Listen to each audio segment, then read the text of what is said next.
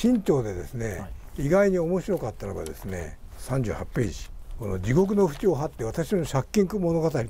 特別読むの。はい、ちょ面白かったですねこれ。これまあ面白いっちゃ気の毒だけどな。面白かったよな。はい面白かった。ピンクレディーのミーのミーがこんなに、はい、あの借金背負ってたとかな、はい、経営を任せっきりにしてたらその2億円以上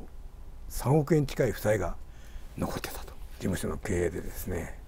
これを全部でも自分で返したんだから。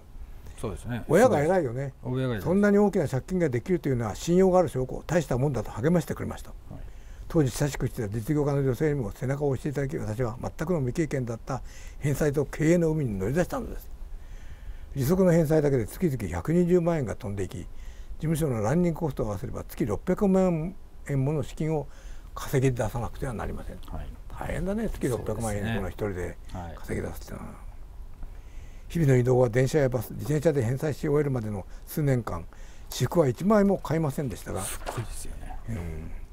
返済額を考えればプライベートの出費を抑えたところでビーチたる効果しかないのですがお借りしている以上贅沢な暮らしはできない。そう思って徹底して切り詰めた。法人税も滞納してそれも、あのー、もうとにかく誠心誠意お願いしてですねえー、納税時期を猶予してもらったりですね、はい、この時の苦労を知っている人からよく全額返済できたねと驚かれるのですが私が心折れることがなかったのはやはりピンク・レディーの経験があったからなのかもしれません、うん、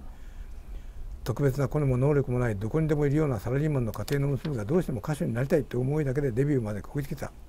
デビュー後は寝る時間も食べる時間もありませんでしたがきちんとプロの仕事をしたいという気持ちで乗り走り切った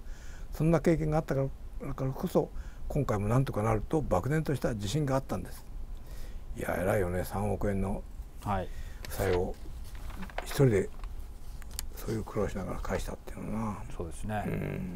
やっぱ独立した時に、えー、経営任せる男性がそうなんだよな。もういろんな借金して金使われちゃったんですよね。そうなんですよね、はい、だからまあ世間知らずだったっていうまあまあまあそうなんですよ、ね、言われたらそうなんですけど、ただあの根性ありましたねあったね、はい、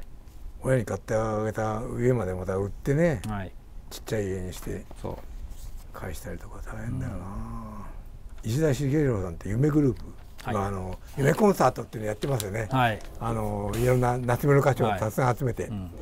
この人もですねすごいですねこれ、うん、この人の話も面白いですね。そうなんだよな、一番最初に高田馬の学生ローンで15万円。水道橋の学生ローンでもう15万円あの時初めて手にした札束から漂ってきたお札の陰気の匂いが65歳になった今でも忘れることができません。19歳の時、えー、下宿しながら大学受験の予備校に通ってたんだけど出願という時になって親が送ってくれた受験料16万円を封筒ごと友人に盗まれてしまいました、うん、そこから借金が始まるわけだよな、うん、でもアルバイトしながらそれは返したのかな、はい。うん、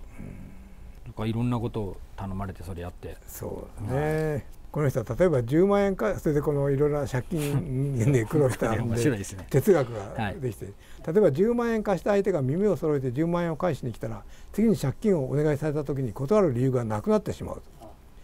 10万円20万円ならいいですがこれが500万円100万円となったら大変ですから。だから僕はお金を貸してほしいと言われたらその何分の1かを渡してあとはひたすら帰ってこないことを祈るばかりなんです。断れないっていう。だから書いてますよね、あの知人から借金を申し込まれると、うん、そしたらお金を貸すのが怖い。怖くて怖くて。何が怖いって貸した金がきちんと返ってくると胃が痛くなってしまいます。だ だからお金あげて帰ってこないようにしたい、はい、面白い話ですよ、ね僕が芸能の仕事を始めたのも実は懇意していた芸能プロダクションの社長に出資をお願いされたのがきっかけ、えー、この社長には、えー、90年の後半錦野明さんや松方弘樹さんに通販の CM に出演してもらった際にお世話になっていました。そんな社長からある時経営に関わってほしいと頼まれ毎月150万円を振り込んでいたんです。でもいつまでたっても売り上げが立たない。そこでもうお金は出せないと連絡すると代わりに石田さんが社長になってプロダクションをやってくるというそしてマネジメントすることになったのが狩人の2人でした、うん、工業の世界にはさまざまな分裂がありますが診断者の僕はそんなしきたりは知りません。狩人のギャラは当初1ステージが大体80万円程度でした。それを2ステージ100万円のディスカウント価格で売り出したんです。この業界では事前にギャラを明確に伝えないのも特徴でしたが僕は徹底して明朗会計にしました。他の工業士から勝手なことをされると困るという声も聞こえてきましたがこれが功を奏し初年度から1億2,000万円くらいの売り上げを達成することができました。僕のもとにはさまざまな往年のスターがやってくるようになりました。どの方も有名なヒット曲があるのですが単独ではステージが持たない、うん、でもそんなスターも大勢いれば十分興行になる。だから集めてね、ね、今10人とか20人集めて、はい、夏目のコンサートやってますよね、はい、あちこちで。夢コンサート。これが夢コンサート。出演者が多いと個別のギャラは安くなりますがステージ数を多くすることでそれを埋め合わせることができます。もちろん、えー、歌手たちに支払うギャラも明朗会計大御所だからなという理由で差はつけず全員あちょっと消しといて。一律ですと、うん、一律と、まあ、そういうやり方でね、まあ借金すると大変だなしかしな。はい。通販やってる人ですよね。うんそうそう、すごい下手なんですけど味があるから やっぱ見ちゃうんですよね。売れちゃうんですよね。そうなんだよな。しゃべ MC もうまいわけじゃないんですけどなんかやってますよね、あのジャパネット高田の人とかもちょっと言葉が変わってるじゃない。ですか、方言も入ってて、うん、だからああいうちょっと違和感があるのが,、まあまあ、がいいんだよはい、いいんじゃないかな、ね、あんまりうまくない素人っぽいのがね、はい、はい、そうです、はい